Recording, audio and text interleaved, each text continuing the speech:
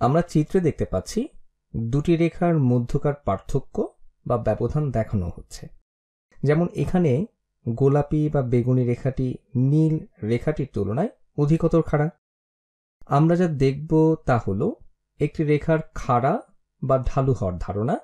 একটি রেখা কতটুকু খাড়া, কত দ্রুত তা বৃদ্ধি পাচ্ছে বা হ্রাস পাচ্ছে। বিষয়টি গণিতে একটি প্রয়োজনীয় ধারণা।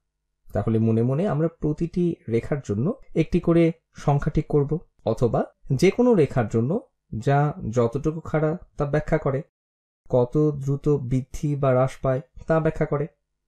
তাহলে এটি করার যুক্তিসঙ্গত উপায় কি? এখন আমরা দেখি কীভাবে এই উপায়টা নির্ণয় করা যায়। এটি চিন্তা করার একটি উপায় আছে। উপায়টি হলো, একটি রেখা উলম্ব দিকে অনুভূমিক দিক বরাবর প্রদত্ত বৃদ্ধির জন্য কতটুকু বৃদ্ধি পাবে? তাহলে আমি লিখছি, তাহলে যদি আমরা উলম্ব দিকে প্রদত্ত অনুভূমিক দিকে বৃদ্ধির জন্য কোনো বৃদ্ধি পাই, তাহলে আমরা কীভাবে এর মান পেতে পারি?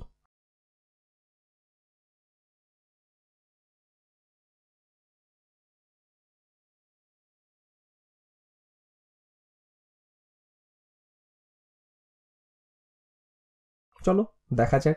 এই বেগুনি রেখাটা দেখো। এই রেখাটির উপর আমরা যে কোনো একটি বিন্দু নিয়ে শুরু করছি। কিন্তু আমি এমন একটা বিন্দু থেকে শুরু করব, যেটা আমার জন্য সহজ হবে। এটি নির্ণয় করতে আমরা কোন বিন্দুতে আছি?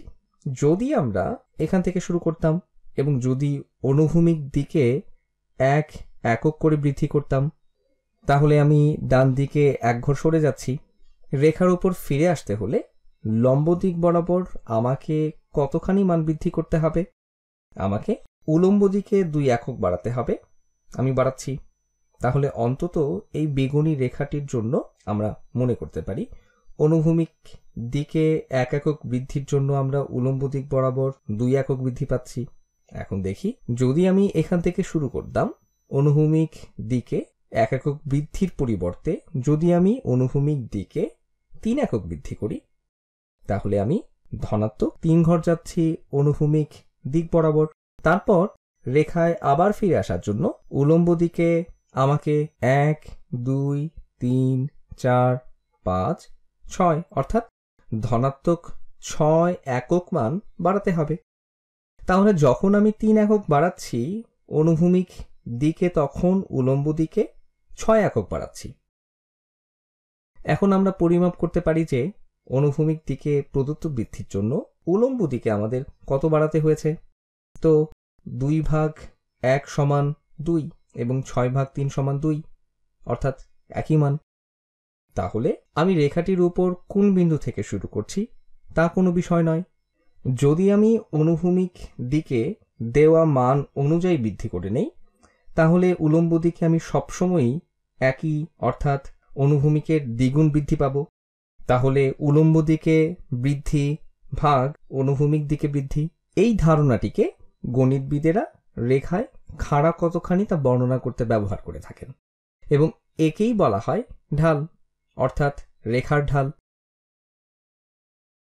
সম্ভবত তোমরা স্কি স্লোপ বা বরফের উপর চলার জন্য সরু কাঠের অথবা ধাতুর পাতের জন্য ঢাল শব্দ ব্যবহারের ধারণাটির সাথে পরিচিত। এবং এর কারণ হলো স্কি স্লোপের একটি নির্দিষ্ট বাঘ বা নতি আছে। এর ঢাল খাড়া বা ঢালু হতে পারে। তাহলে বুঝতেই পারছ, ঢাল মূলত কোনো কিছু কতটা খাড়া বা ঢালু তা পরিমাপ করতে ব্যবহৃত হয়। নিয়মটি হলো আমরা অনুভূমিক দিকে প্রদত্ত বৃদ্ধির জন্য উলম্ব দিকে কতটুকু বৃদ্ধি পাবে তা পরিমাপ করব। অতএব দুই ভাগ এক সমান ছয় ভাগ তিন, অর্থাৎ দুই এই মানটি বেগুনি রেখাটির ঢালের সমান। এবং এটি ব্যাখ্যা করার একটি উপায় হল, আমরা যে পরিমাণ মান অনুভূমিক দিকে বৃদ্ধি করছি, উলম্ব দিকে তার দ্বিগুণ বৃদ্ধি পাচ্ছে।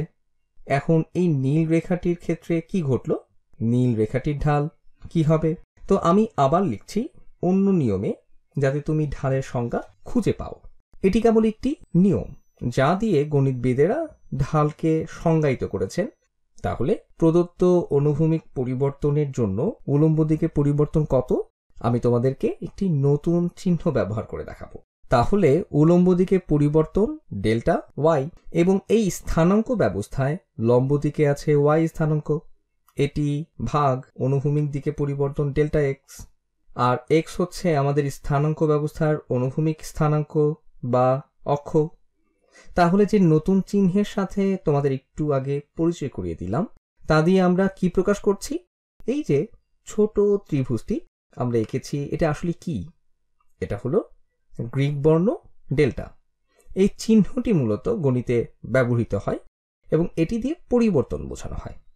তাহলে এটি দিয়ে আমরা বোঝাচ্ছি ওয়াই এর পরিবর্তন ভাগ এক্সের পরিবর্তন।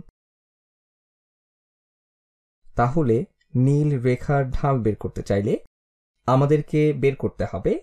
এক্সের পরিবর্তনে ওয়াই এর কত পরিবর্তন হলো?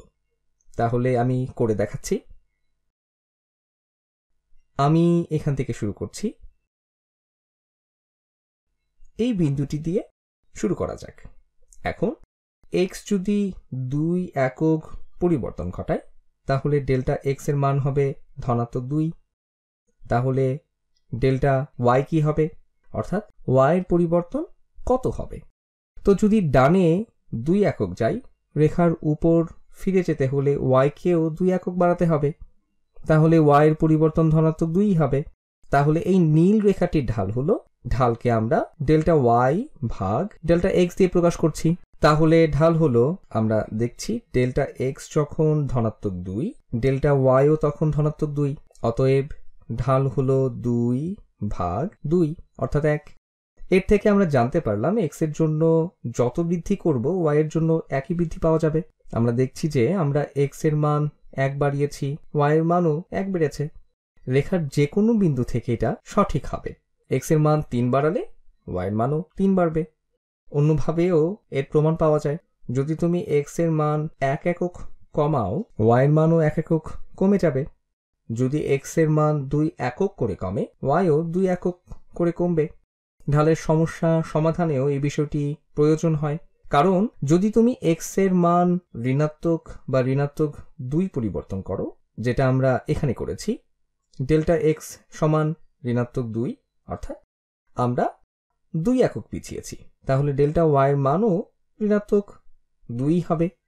তাহলে ডেল্টা ওয়াই ভাগ ডেল্টা এক্স সমান এক যা পূর্বেও আমরা ঢাল হিসেবে পেয়েছি।